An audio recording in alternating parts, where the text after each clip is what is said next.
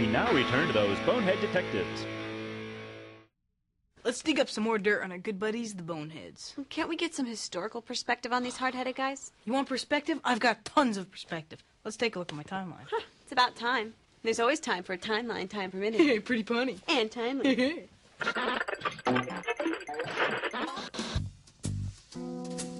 okay, that's Allie over there on the right, in the present. Now let's find something we think of as really old, like the pyramids. But that's only 4,000 years ago. The first caveman didn't show up until 2 million years ago. And that's nothing compared to when the dinosaurs lived. The boneheads appeared about 130 million years ago. And they pretty much lived life to the fullest until the end of the Cretaceous period, about 65 million years ago. So now that Mike Triebold has enlightened us with his reconstruction of the most complete Pachycephalosaurus skeleton ever assembled, we can finally ask the question, What is the deal with that head? Well, now, Sam, back in the 1800s, when the bonehead skulls were first found, they thought that these dinosaurs needed extra big heads to hold their extra big brains. That sounds like an old idea. Oh, it is. Then forget about it. Let's find out what the bonehead experts are saying. This is my man, Bob Bakker, and he asked the question Boneheads. Why? When the first boneheaded dinosaur was found the last century, it was clear they weren't nearly as bright as their domed forehead would indicate. This dome was not full of brains, it was full of solid bone. Why? A very old idea was these animals had outlived their Darwinian clock. They're revolving every which way, sprouting bumps and tchotchkes and thingamabigs and domed heads for no reason at all. That's an old idea and it's bunk. In fact, this small brained, armored four headed dinosaur was a beautifully designed fighting machine. I love Allie! Hey, look, they're fighting over you! Like I would date a split end. Uh, no, that's a quarterback. Oh.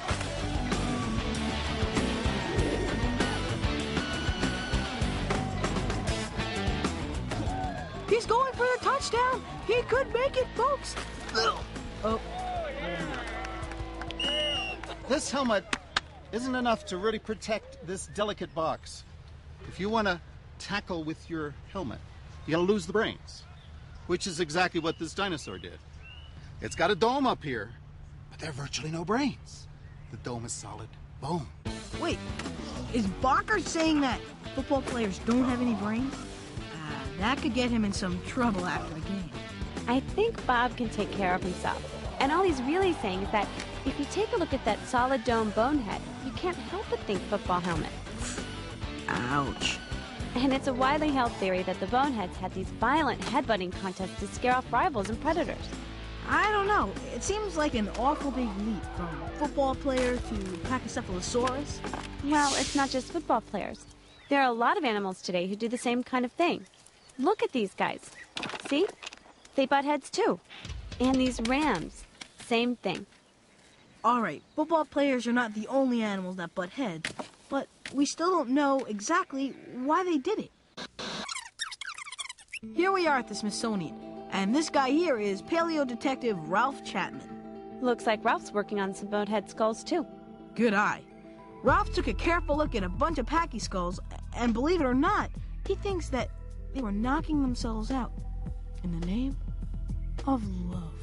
If the dome of Pachycephalosaurus was used primarily for defense against predators, you would expect the domes of the females to be the same shape as the dome of the males, because both need to avoid getting eaten by those predators. The alternative, that the dome was used in sexual combat, such as front butting or butting of the flank, you would make a prediction that the dome of the males would be much better developed dome relative to the female, which has a smaller, flatter dome. In our analyses, the results show exactly that. Males would have the bigger domes because in nature, they would be the ones to fight over becoming top dog, to have the right to mate with the females. And besides, males are the only ones dumb enough to do this kind of behavior. Now, back in his laboratory, our old friend Mike Triebold has been working on his own theory. He questions the whole idea of headbutting. This discovery has answered several questions about whether or not Pachycephalosaurs could butt heads or not. As you can see, the skull is very large in comparison to the size of the neck vertebrae. And the neck vertebrae also have a very strong natural curve. And as you can see in this model that I have here, in its natural articulation, everything is fine, but when you try to straighten the neck to ram the skull, you dislocate the vertebrae. And they simply could not do that. Mark Goodwin agrees with Triebold. Headbutting just doesn't make sense, especially if you're taking a Pachycephalosaurus to the bowling alley. A bowling alley?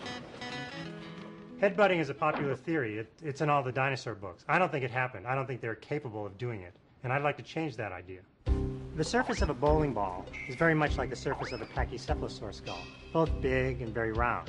When you have two pachycephalosaurs colliding together, they have to be lined up perfectly in order to make contact. If they're not, they'll glance off each other. This is when we have serious problems. This would result in injury to the animals and perhaps death. I still don't buy it. Why would the pachyskulls be so thick if they didn't butt heads? They may look thick to you, but Mark put that skull under a microscope. And guess what he saw? Paleontologists have described the domes of pachycephalosaurs as being solid bone. In fact, they feel and sound very solid. When you look at these skulls under a microscope, you see a much different structure. In fact, what you see is a honeycomb structure of bone. It's full of holes, just like the theory of headbutting. Well, if the helmet theory doesn't fit and the packies didn't butt heads, then why did they have, to quote Bob Bakker, Bumps and tchotchkes and thingamabigs. Look, this bone was definitely made for ramming into something. thank you? I don't see them lining up 100 meters apart and charging at each other. Instead, I see them headbutting from close up and wrestling until one of them gets a headache and just gives up. This isn't for head to head ramming. With a head like this, you want to aim into your opponent's chest. Better yet, a blunt, disabling blow to the stomach. Like this? And this. All right, I think these guys are uh, getting tired. Let's move on. All right. Well, here comes Peter Dodson, yet another paleontologist with his own theory about a different kind of dueling dinosaur. But instead of going to football practice, he likes to hang out at the gym. Yet another sports analogy. Dodson watches the heavyweights sparring in the ring to get an idea of how male Triceratops would battle for the attention of the female. A bull triceratops comes out of the forest into a clearing and looks across the clearing and sees another bull at the other end of the, the clearing. He's not happy with this sight. He rocks his head side to side, he stomps his foot, lifts his legs, he urinates, puts his scent around the ground, he tosses his head to the sides, and discovers that the uh, clearing is filling with females coming to watch the struggle, listening to the sounds and sights. And he dips his head more, and he rolls his head side to side, and he is really furious now.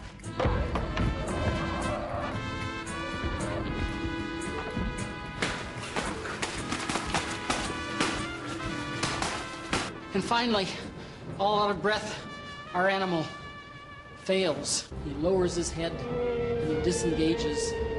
He's beaten. He backs off. He backs off. He backs off. And finally, he turns and slinks off into the dark forest gloom. Oh, poor thing. Oh, you're such a sucker. oh! Back in a paleo minute.